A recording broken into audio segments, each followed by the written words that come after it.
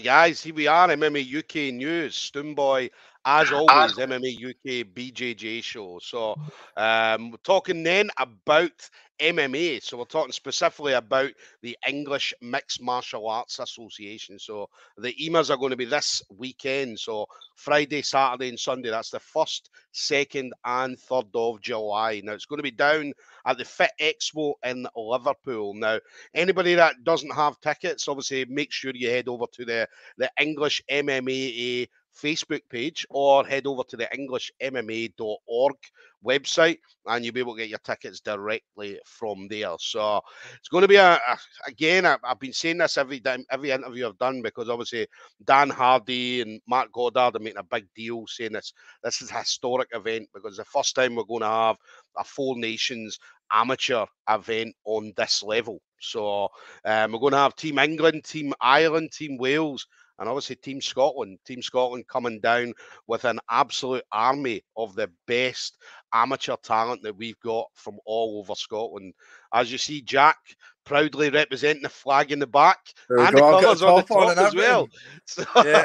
so, so Jack's coming down. So Jack was uh, recently added. It's, I think it was only about a week ago that he was added to it. So um, but he's a great addition. I mean, anybody that's ever seen Jack or even hearing about him, obviously, he's training in the gym and stuff like that, that people hold him in high regard. So it's going to be a great addition to this weekend's card. Um, and one person I'm definitely looking forward to seeing. So, so Jack, listen, absolute pleasure, buddy. How you doing? I'm good, mate. Thank you for having me on. Oh, definitely. I'd say as soon as uh, speak to Johnny and he mentioned it, and I'm like, ah, I mean, I didn't even see your name coming up. But again, that's because I, don't know if my name's on the thing. I'm going to be honest. Yeah, yeah. you're turning up and you're like, yeah, you're, you're going to be turning up like, who am I fighting about? Mate, we don't know. I'm so... not first, mate. I'm I'm there to fight. Do you know what I mean? I don't do I don't do admin. That's not yeah. what I'm here for.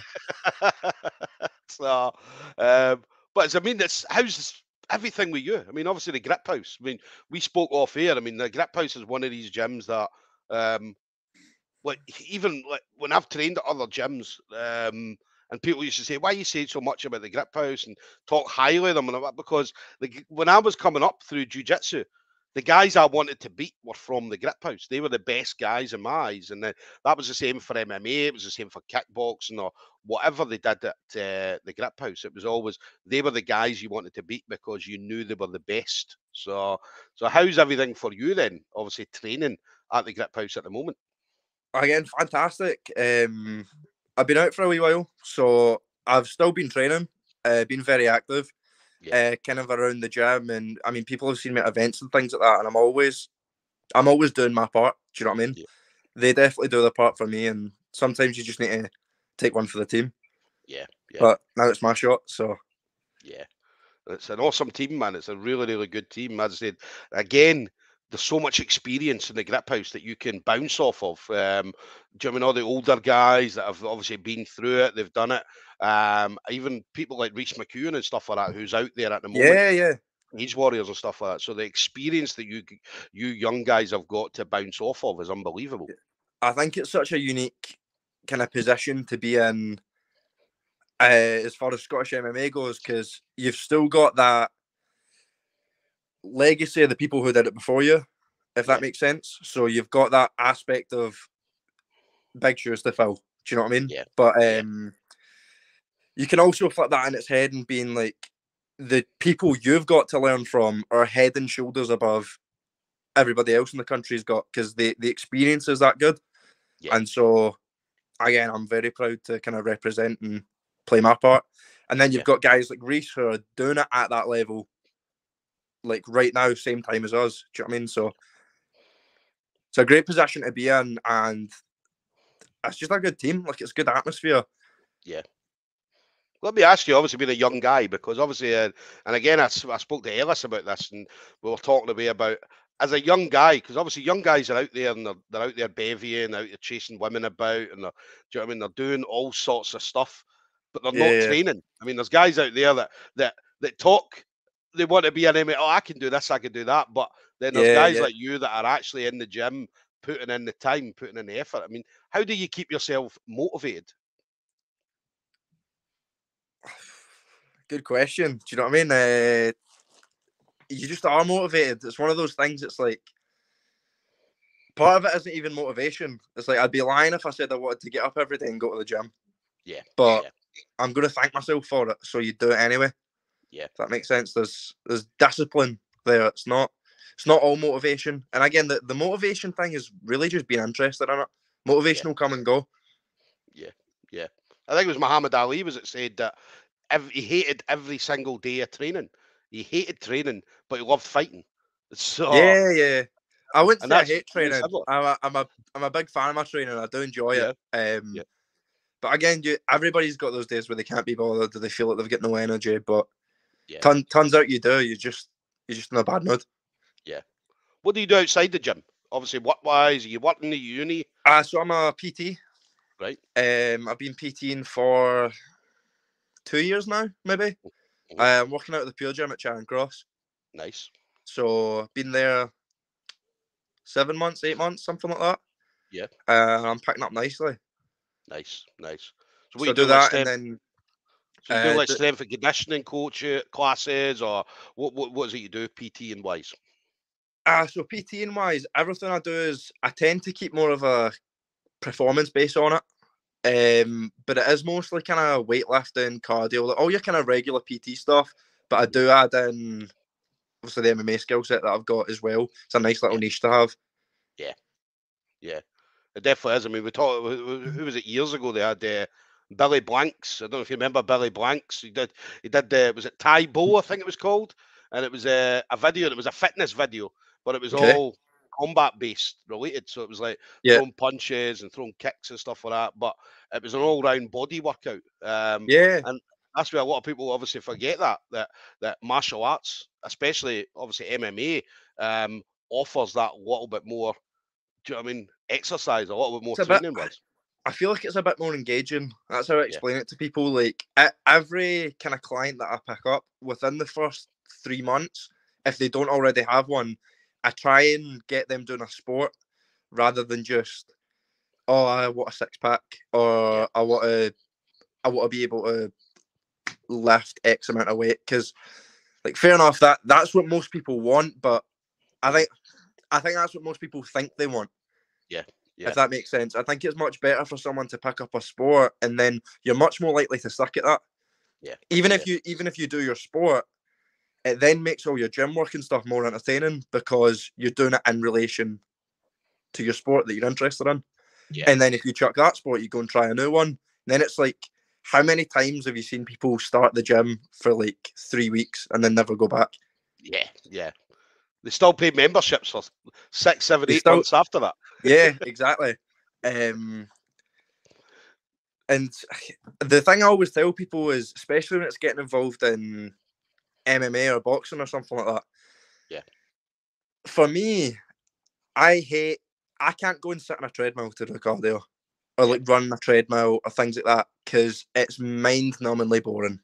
Yeah. It is just so it's soul destroying, right? That's not me. Mm. But I'll burn the same amount of calories if I was to go and spar, if not more calories, if I'm to spar or to do pads. And see when I'm doing that, I'm not. When you're on a treadmill, you're just focused about how tired you are and how knackered you are because you Yeah. don't need to think about running. Whereas, like when I'm sparring, I'm not like, oh shit, I'm really tired. I'm I'm doing my best not to get punched in the face. You know? Yeah, yeah. Nah, definitely. When you're on a treadmill, all you're doing is you're looking down, thinking, "Shit, I've still got 20 minutes to go." Yeah. All you're doing is or- looking at all you're doing is looking at a timer. Do you know what I Yeah, mean? Like Or you look at the timer and you think to yourself, before you even look at the timer, you think, I must have ran about 20 minutes there. And then you look down at the timer and it's like one minute, 30 seconds. And you're like, oh, Yeah. oh, for fuck's No, exactly. It's just it's it's mentally draining. Do you know what I mean? It's not even it's not the physical. It's the mentally draining. Yeah. The difference is, I go and spar or do MMA or wrestling or what, whatever I do for my cardio. Yeah. Um. It just distracts me from how fucked I am. If that makes Yeah. sense, I just get on with it. Yeah. Nah, definitely. As I said, I, I always talked about like, like ju- when I would used to do, when I'd be in doing jujitsu and we'd be rolling and stuff like that, and even when we went to comps and so on, and obviously I'm not, I'm not athletic, right? I've got a belly, I'm a, I'm, I've got, I've got a dad body, A power Right. belly. a power belly, right? So, Yeah. and then, but what I used to do is when I used to go into comps, I never ever got tired. Right. Uh huh. Now you would look at me and you would think, oh, if he was rolling, then he would be tired within a minute, right? But Yeah. I never got tired. My gas tank was always brilliant. And the reason it was always brilliant is because the amount of rolling I used to do in the gym. And I would be on the mat and I'd be rolling and uh, I'd got to a point where my cardio was good, right? I Yeah. couldn't don't get me wrong, I couldn't I couldn't go out and run a mile, right? But Yeah. I can roll for an hour. Do you know what I mean? Mate, So- I, I can I can spar five rounds, ten rounds, twelve rounds. I like fighting wise. Yeah. I can go a very long time. I can't run thirty seconds without getting a stitch, yeah, yeah. and that's not even an exaggeration. Like we do, uh, at the grip house, we'll do all the sparring, and then we'll do positional stuff, and to finish, we do like a two minute jog around the mat. And I am, I maybe I don't show it, but I'm struggling. Like I've not, I was just, I don't know what it is. Um, I don't know if you know. Do you know Keith Keith. for the grip house? Yeah, I Does Muay probably do. Keith Yeah, yeah. McLaughlin. Yeah, yeah. yeah, yeah. Uh, it was one time. It was at, it was the week after my second fight, and he came into MMA sparring, and he hit me with the worst body shot I've ever been hit. It was a knee, um, and he got me against the wall and he hit me with this knee, and I, I swear to God, I felt his knee hit the wall Yeah. behind yeah. me. It was terrible. You're making pure involuntary noises and all that. yeah, um, and honestly, see, since then I can't run thirty seconds without getting a stitch. Yeah, yeah. That's He's thing. We some- don't need to run. We don't need to run anyway. We're, I, I, you're an MMA fighter. You're not going to be Yeah. running anywhere. So Uh, well, that's the thing. People talk, uh, you know, people talk about like fight or flight. yeah, yeah, I'm slow as fuck, so I just had to learn. yeah. nah, that's what I love about it. I love about it because, and again, people look at people as well. They judge people. Do you know what I mean? Because, and we, yeah, I don't know if you saw the Joe Rogan video where it was like he was talking about people look at people and think, "Oh, I can take him," or "I can take him." Do you know Yeah, what I mean? yeah. But then, how many times have you walked in like an MMA room and looked at the killers that are lined up against the wall? Yeah, And people would always look and go, I'll pick on the smallest person, yeah, right? And the smallest person, like most of the time, it was like the smallest person was like Paul McVeigh, for Yeah, example, yeah. right? And height wise. So people would look and be like, oh, I would take Paul McVeigh. But then he's the worst person out of the whole. Oh the yeah, worst he's people. absolutely the worst person to pick. Yeah, but Yeah. that's the, the judging thing. People look and say, "Well, I can do this and I can do that," um, and it's not until they get in there they realize, "Shit." Do you know what I mean? Yeah, Um, so that's what I love about it as well. I love about it. It's very, very martial arts is very deceiving for people. People that don't know anything about it watching. Because how many sofa guys have you seen like, that? oh, I can do this or I can do that, or yeah, they shout at people like they shout like I can't. I- remember sitting there and somebody was talking about. I think it was Brock Lesnar and Shane Carwin when mhm. they had a fight, and Shane Carwin absolutely smashed him in the first round. And you had all these armchair guys on Facebook saying, "Oh, I would have done this, I would have done that, I'd have finished him," and you're like, "Really, I really." You, you know what I get all the time? I get this all the time. Um, I get this every time I go on like a night out or something. I end up talking to people that, or you, you know that way you meet people that you know, but you're not like really pals with.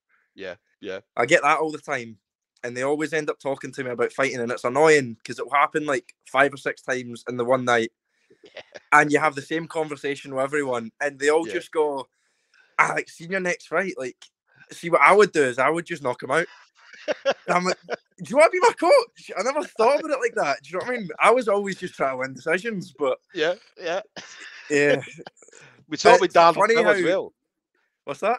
We saw it with Darren Till as well. I don't know if you saw a video of Darren Till, and that's what he said. He used to have people like I think he got did he lose against Masvidal, and then Yeah. people that didn't have anything to do with MMA, they didn't fight or that, and they were giving him advice, and he was like, yeah, you what I yeah. mean, just like Oh, they're like that. off, oh, I, would- I would just, see, I would just see red. I'm like, would you? Yeah. Would you? Yeah. Listen, we love it though. We love these people. Do you know what I mean? Because the, honestly, it wouldn't be the same without them. no, no, definitely not, definitely not. Um, so what about obviously this weekend then? So obviously uh, it's coming up. Obviously, it's going to be a massive platform. Um, Yeah. Uh, again, obviously, uh, and again, I'll be saying this: the talent that's heading down there is unbelievable. I mean, the talent in Scotland at the moment uh, is at an all-time high. So how did you then? Because obviously you got told a week ago. So how did you find out then that you were going to be there this weekend? Uh, as I said, I'd I've been out, uh, been out of fighting for quite a while. Yeah. Still training and that, but just hard times from you know what it's like injuries and things can slow you down. Yeah. Uh, and I knew that I was getting the all clear, or I was close to it. Yeah. Three, four weeks ago. So I just started dieting anyway. Yeah. Because I'm Yeah. like, it's a massive opportunity. And if I didn't start dieting and then one came up and I was like, oh, I'm 82 kilo. Yeah. Yeah. Like, fuck fighting a middleweight. Do you know what I mean? So, Yeah. Uh, and the welterweight it is. Do you know, I've never fought 77 before. I've done Yeah. 70 and I've done 65, never again. Um, But I so I'm feeling healthy, feeling good. I'm um, I'm not I'm not fussed about the short notice. Do you know what I mean? Yeah. Like uh, we stay ready all year round. Uh, again, blessed to have the opportunity. So I was never Yeah. going to turn my nose up at that. Yeah, I'd say a massive platform. As we've seen a lot of people springboard from from this onto massive things, um, which we're going to see. Obviously, after this event, there's going to be a lot of you uh, young guys going on to, to massive things. Do you know what I mean? Yeah. So, Um, I mean, I certainly hope so. Do you know what I mean? Yeah. I heard there's a five hundred pound bonus going. I found that out yesterday. yeah, yeah. So So, aye, best fighter. I think the best fighter. Uh, um, so putting up a five hundred quid bonus for. What's- Um, how how are they judging this? Like, I don't exactly know how they're going to judge it because obviously I know at previous other events, other different martial arts events, you know, Battle Arena do obviously the the the fight of the night and stuff like that. So yeah, yeah, um, so how how these guys are going to work it, I don't know. I don't know if they'll do it on a point system or do you know what I mean, like based on like maybe submissions or knockouts, what, whatever. Um, so I don't exactly know, but I think you guys will find out about it on Friday. So you should find out okay. about it, obviously, but like maybe before weigh-ins, or I don't know if they do maybe a rules meeting or something like that uh, on the Friday or Thursday or whenever they do these rules meetings. So, I, so yeah, I honestly, I've always hated that about shows. See when you go to shows and they do rules meetings. See if you need like honestly, see if you've signed up for a fight and Yeah. you put your name on and you're gonna go into a fight and you don't know the rules. Just let Yeah. just let them fight. yeah, Do you know what I mean? Like I just that's all I want to see. I want to see people who have not actually trained long enough to know the rules be like, yeah, yeah, yeah, just jump in. yeah, yeah, Like why why are we wasting our time doing a rules meeting? yeah, yeah. That is mate, mate, Listen, you've seen how many amateur fights you've seen though, where obviously somebody's maybe not knew the rules and they've done some crazy shit, man. Right? Yeah. And then they've got disqualified and they're looking like, that. why did I get disqualified? You're like, well, listen, Yeah. you threw you threw a fucking back spinning elbow or whatever, whatever you've Yeah. done. Do you know what I mean? That's not allowed. And like, all right, I never knew that. Do you know what I mean? So, um, so it happens all the time. It happens all the time. But obviously, a level like that, this level, um, I say you're probably you're probably not going to need a rules meeting because everybody will know the rules before they get there because of the the the, the size of the platform that they're on. Yeah, exactly. And also like if I convince them to not do a rules meeting, Yeah. it means that I've got an excuse when I elbow someone. It means I've got something to get away with. You know what I mean? Like, if I if I elbow someone, they're like, "That's not allowed." I was like, "You didn't say that in the rules meeting." Do you know what I Aye, mean? aye. I've got cover. Yeah, listen, that'll make a highlight reel anyway. That'll definitely make a highlight reel. So, I hope so. and then what do you see yourself doing? So obviously this will be this is your main focus. So obviously this weekend, but what what, what do you fancy doing the rest of the year? As many as possible, to be honest. Um, you know, I get so busy with training and coaching and things like that that I, I don't get I don't get as much free time as I'd like. Yeah. But I've got my dad's getting married at the end of the month, and Yeah. the week the week after this, I'm going on holiday with the boys. So Yeah. Yeah. gonna get a bit of time to wind down. Um, I just think a month off is too long. Do you know what I mean? Like, uh, but yeah, I should be more grateful. Do you know what I mean? I'm getting a month off. Doesn't happen to doesn't happen to everyone, but So you got to Uh, wind down though. I mean, you've got to wind down. As I said, uh, you young guys train fucking every day. Do you know what I mean? I mean, like, I- I, don't know. I don't know anybody that I've spoke to. Uh, certainly in MMA, um, like any young guy I speak to, that they say that we train seven days a week, and I'm like, how do you? do you know what I mean, when do you wind down, and when do you when do you get the chance to wind down? And like, usually the day before the fight. Do you know what I mean? Um, like we'll we'll Yeah, not do yeah. much. We'll do like light sparring or we'll do something. Do you know what I mean? But seven days a week, every day. So for you taking a month off, I mean, you deserve a month off. You deserve some time off. So I suppose I deserve it. I just it feels weird taking that long off when you're not used to it. You know what I mean? Yeah, Um, yeah. But I'm sure I'll enjoy it, and then I'll hopefully get out another couple times this year. My my goal for the year was to fight uh, four times at least. Yeah. So um, I'll get two out of this, and then if I can get two later in the year, then it's a pretty good save. No, definitely, definitely. The final thing for you then, Jack. So obviously been in the game a little while. Um, anybody you want to shout out to? So the usual friends, family members, teammates, things like that. I'm gonna forget everyone. Uh, everyone. I want to shout out everyone because Yeah. I'll end up forgetting someone and then I'll get messages and whatnot, and I'm like, just let me let, let me live, man. yeah. Uh, the just the usuals like thank Dean, uh, he's my coach. Guy owns the grip house. yeah. Like all, all, all the guys, all my training partners, uh, all the guys that are going down with us. So Johnny, Ellis, Stephen, uh, Jazz, Jeff, uh, Stevie's coming down. Uh, everybody that's coming down and getting involved, like, Yeah. and all, all the training partners. Do you know what I mean? They all, we all play a part. Yeah, yeah.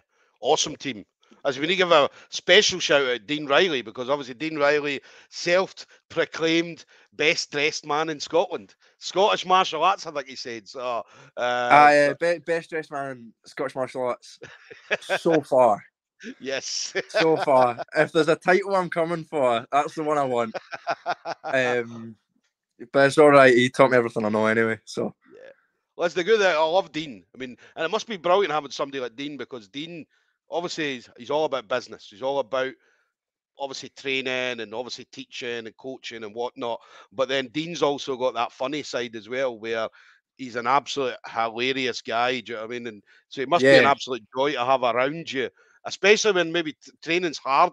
But then you got somebody like Dean, obviously joking about, messing about and stuff like that, just keeping everybody the morale up and keeping everybody laughing and stuff like that. yeah, it, he toes like a really fine line of he's like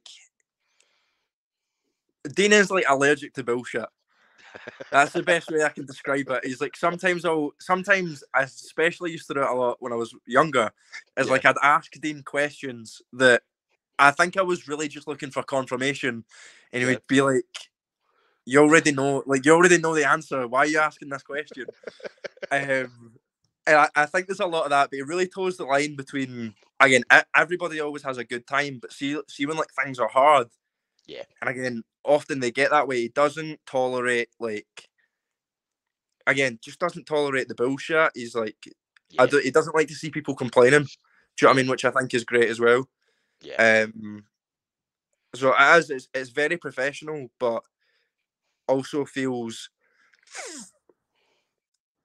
I feel like it gets you used to the pressure, if that makes sense. Yeah. Yeah.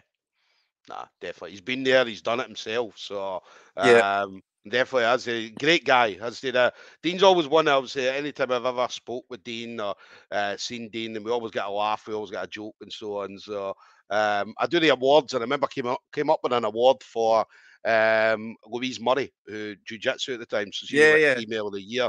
And I came up and she wasn't there. So she said, Look, let Dean take it on my behalf. So we did a video and it was like, right, okay, this is for Louise Murray. And Dean's grabbed Yeah. it. And he's like, this is not for Louise Murray. This is for me. Louise Murray. This is mine. yeah, So- and that was where he came out with it. I'm the best dressed man in Scotland. This is what it's Yeah. for. Scottish martial arts. So um, Yeah. As an awesome guy, awesome guy, and as I always always love seeing him, and always love seeing obviously you guys out there putting on a show as well. So we're definitely buzzing for this weekend for you, Jack. So. So there we go, guys. We're going to have Jack Leckie, the Grip House, uh, representing Team Scotland. That's going to be this weekend, the first, Yeah. second, and third of July. So Friday, Saturday, and Sunday. It's going to be at the Fit Expo, uh, the English Mixed Martial Arts Association. So the EMAs um, down in Liverpool. Now, tickets, as I said earlier, head over to uh, obviously the English MMAA Facebook page. Get your tickets from there. Anybody that can't make the event, now the pay per view price is absolutely awesome. It's twelve ninety nine for all three days. All right. So anybody that's ever seen an MMA event on pay per view knows that twelve ninety nine for three days of martial arts is absolutely unbelievable, and especially this level. So we're going to see some of the best martial artists, MMA fighters from all over the four nations. So Team Scotland are mainly coming in me. to win. Mainly, mainly me. Mainly You're Jack. playing, you're playing twelve ninety nine for me. so Yeah. 12 for Jack. We're going to get obviously a guest appearance from Dean Riley in the background as well. So you're going to let him share the limelight, Jack. Yeah, I just need to make sure he's not outdressing me. so, but no, listen, it's going to be a great event, guys.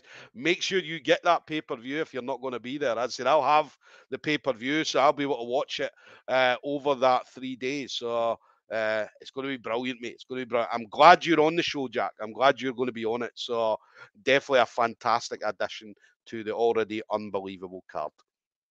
Oh, I'll be glad to be there again. It's it's been too long. I just you get the itch. Do you know what I mean? I just want to just want to swing knuckles. That's that's the only way I know how to say it. Do you know what I mean? I, I just want to throw down. Uh, when are you heading down? Are you heading down? Are you heading down Thursday or Friday? Heading down on the Friday. Right, right. So Yeah. obviously a drive. It's only what a three hour drive, three and a half hour drive or something. So uh, are you driving down or are you getting the train? We'll find out. As I, as I said, I don't. I you do know it's. Wednesday. You don't. know it's I- Wednesday. It's Wednesday. I don't do. I don't do the organising. I'll leave that. Leave that to everyone else. Nice. You just tell me when I'm fighting. yeah, yeah. Well, listen, I Yeah, I hope you get there. I hope you I get don't- there. I don't organise. I punch faces. End of this. well, listen, enjoy the, enjoy this weekend. As in, uh, enjoy it. Have an absolute wonderful time. As you go down there, do your thing. Do you know what I mean? And obviously, the rest's history, buddy. All right. Uh, and obviously, give my love to all the guys at the Grip House. Tell Dean I said hello. Big shout out to Dean as well. All right, buddy. Uh, well do. Thanks for that, man. Perfect. We'll speak to you soon, Jack. All right. I appreciate that. Take care, buddy. See you later, man.